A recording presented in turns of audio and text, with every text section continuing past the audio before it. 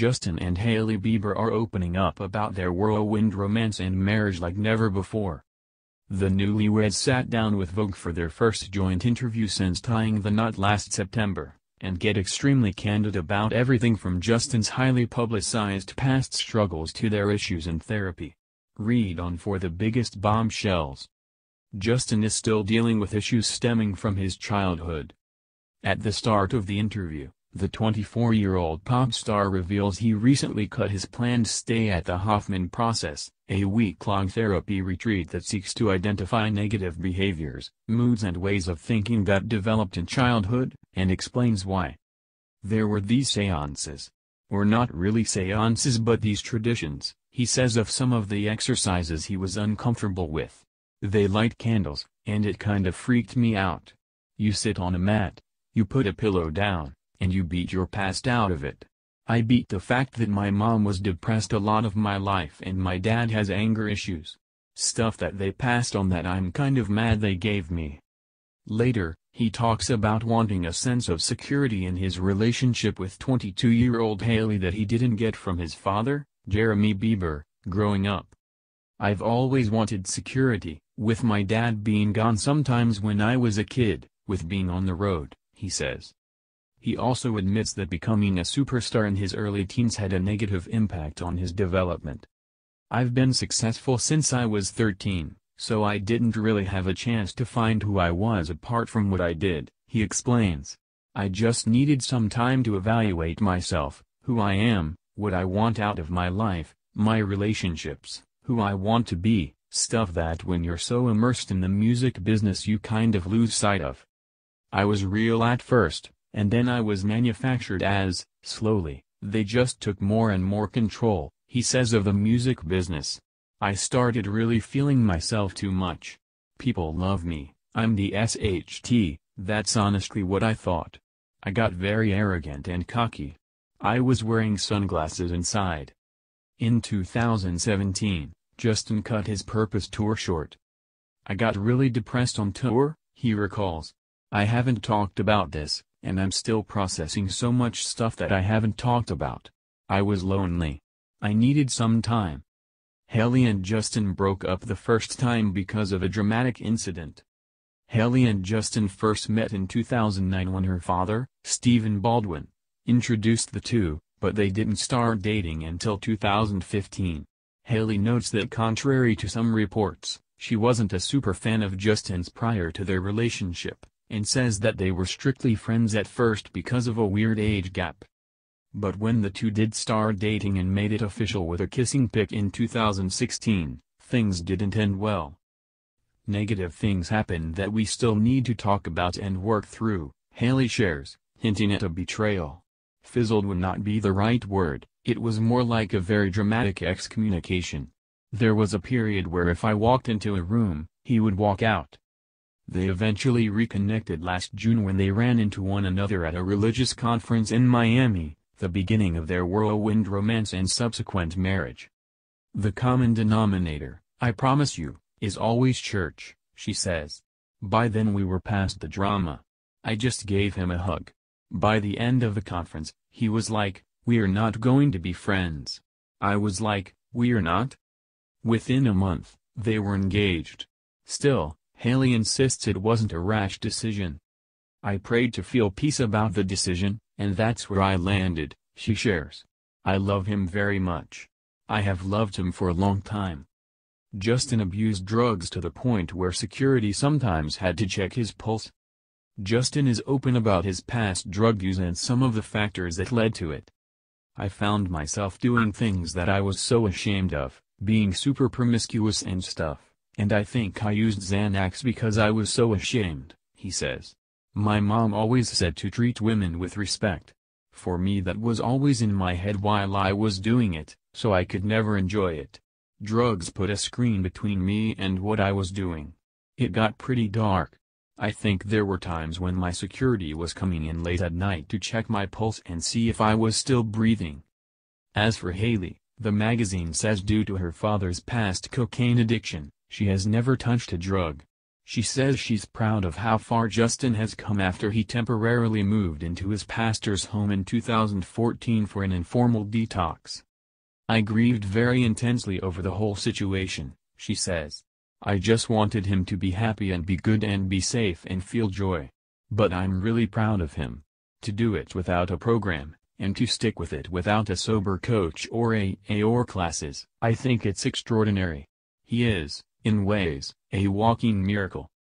Hailey says marriage is really effing hard and the two go to marriage counseling.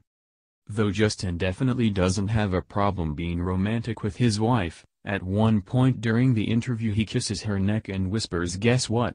You're amazing, and repeatedly calls her his baby boo. Hailey is candid about their relationship not being a fairy tale. The two are open about seeing a marriage counselor. The thing is, marriage is very hard, Hailey says. That is the sentence you should lead with. It's really effing hard. It's been so hard for me to trust people, Justin adds of his own issues.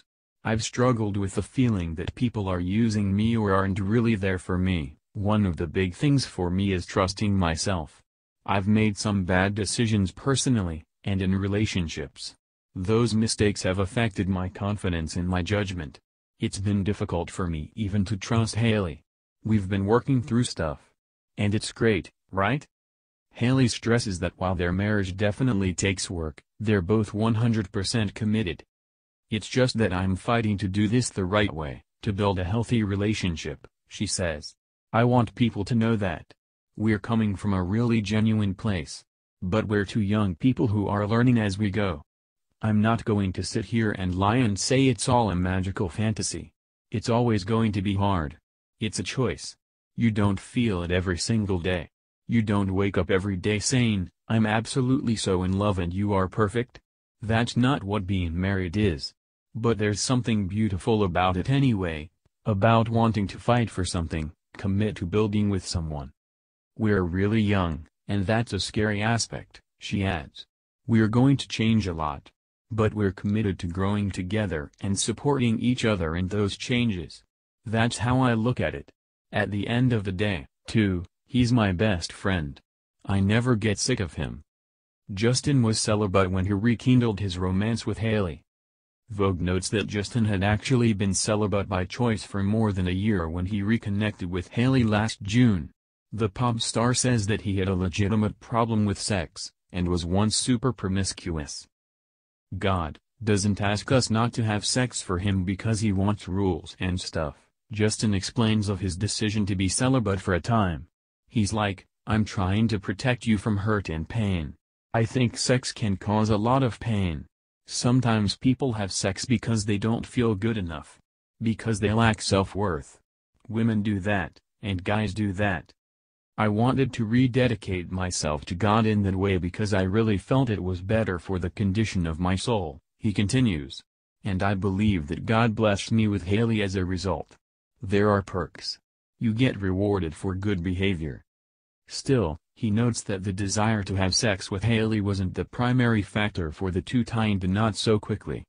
When I saw her last June, I just forgot how much I loved her and how much I missed her and how much of a positive impact she made on my life, he says. I was like, holy cow, this is what I've been looking for. Justin and Hailey are complete opposites emotionally. Justin and Hailey acknowledge that he's the emotional one in their relationship, while she's much more level-headed. Last August, he was snapped crying in New York City, as Hailey comforted him. I'm the emotionally unstable one, Justin says. I struggle with finding peace. I just feel like I care so much and I want things to be so good and I want people to like me. Hailey's very logical and structured, which I need. I've always wanted security, I need one thing that's certain. And that is my baby boo. Meanwhile, Hailey notes, he'll say, I feel, and I'll say, I think. I have to really dive deep and struggle to be in touch with my emotions. He gets there immediately. One thing they fight about is communicating given their very different personalities. Fighting is good, Justin says. Doesn't the Bible talk about righteous anger? We don't want to lose each other. We don't want to say the wrong thing, and so we've been struggling with not expressing our emotions, which has been driving me absolutely crazy because I just need to express myself, and it's been really difficult to get her to say what she feels. Justin says another issue is actually getting Hailey to lighten up. She's trying to be this grown-up, he says. I think we can be married and still have fun and enjoy our adolescence. That's something we're talking about. Justin isn't comfortable being called religious. Though Justin has been open about his strong faith and regularly attends church, he says he doesn't categorize himself as religious. I wouldn't consider myself religious, Justin says. That confuses a lot of people because they're like, well, you go to church. I believe in the story of Jesus, that's the simplicity of what I believe. But I don't believe in all the religious elitism and pretentiousness, like people are better than you because they come to church, like you have to go to church and dress a certain way. I get sensitive when religion comes up because it's been so hurtful to a lot of people, he adds. I don't want to be thought of as someone who stands for any of the injustice that religion has done and does do.